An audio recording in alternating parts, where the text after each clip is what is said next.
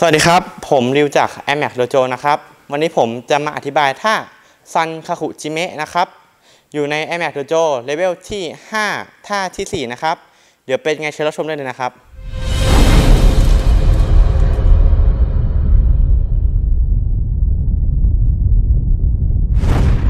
โอเคครับ เดี๋ยวมาเริ่มกับท่า Sankaku Jime นะครับ ท่านี้ก็คือจะเป็นท่าที่เราใช้ขาเราในการเชือดคอของคู่ต่อสู้นะครับ เดี๋ยวมาดูกันว่าทำยังไงนะครับ เอาแบบเบสิกเลยเดี๋ยวเราจะให้หุ่นตั้งเข่าไว้นะครับ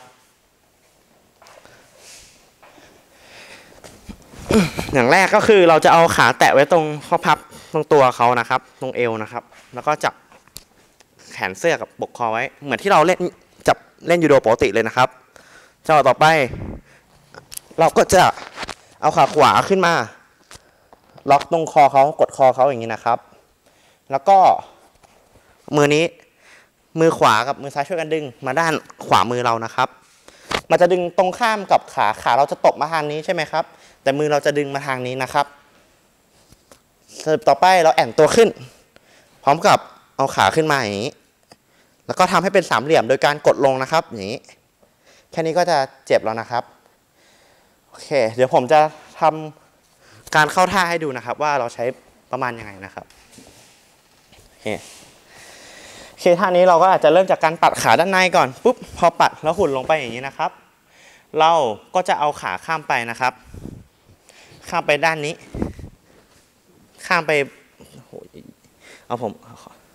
เอาข้ามไปตรงคอเขานะครับ ขาข้ามไปตรงคออย่างนี้ พร้อมกับมือก็จับเหมือนเดิมพอแล้วเราก็จะกิ้งไปนะครับกิ้งไปด้านหน้า ก็จะเป็นอย่างนี้นะครับ จังหวะต่อไปเราก็จะจัดท่าดีๆ โดยการดึงแขนเข้ามาตรงนี้แนบตัวเราแล้วก็ขาเข้ามาล็อกเป็นซานากุนะครับ อย่างนี้นะครับ ถ้าแบบเราอยากทำให้แน่นมาก เราก็จะเอาไปเท้าเรามารัดตรงตัวเอวด้านหลังเขานะครับ แล้วดันไว้ อย่างนี้นะครับโอเคจะทำให้ดูอีกทีหนึ่งนะครับโอเคเริ่มจากการปัดขาในก่อนนะครับ ปัดลงไป สเต็ปนี้นะครับเดี๋ยวดูดีๆนะครับ เราก็จะเอาขาข้ามไปไว้ตรงคอเราเข้าเลยนะครับ ทีเดียวข้ามไปวางไว้ตรงคอนะครับ ต่อไปล็อกกิ้งเลย นี่นะครับ ถ้ามือเราจับไว้เราอาจจะเชือดเลยก็ได้นะครับ เชือดไปจัดไป ให้เขาทรมานไปเรื่อยๆ แล้วมือขวาเราก็ดึงมาตรงนี้นะครับ แล้วก็จับไปค่อยๆจัดท่าการเล่นล็อกสำคัญคือต้องค่อย ๆ จัดนะครับ ถ้าเราจัดเร็วอาจจะหลุดได้นะครับ แล้วก็เชือด กดขาลง กัน แล้วก็มีทริคของซันฮากุนะครับซันฮากุขาเราจะอยู่ในรูปแบบสามเหลี่ยมอย่างนี้ใช่ไหมครับ คือการทำซันฮากุ